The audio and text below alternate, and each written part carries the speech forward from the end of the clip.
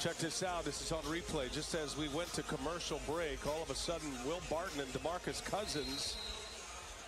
And a little infighting between the Nuggets. And this lasted during the timeout between Cousins and Barton. Anything to it in your mind that needs some maintenance the rest of the game?